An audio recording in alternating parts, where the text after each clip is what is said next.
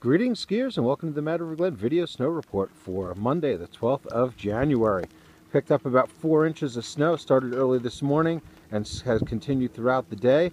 The mountain has been totally transformed. Skiing is absolutely sweet, powder and pack powder conditions, an absolute transformation, best four inches ever.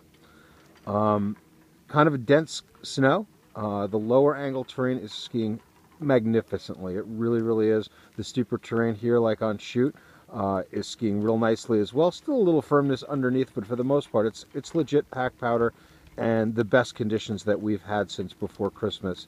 So we do encourage you to come on out and ski it while you can because it really is awesome. Looks like we have a shot for some more snow showers throughout the day, rest of the day today, as well as into the evening. So it should be even better tomorrow. So come on up and, as they say, ski it if you can.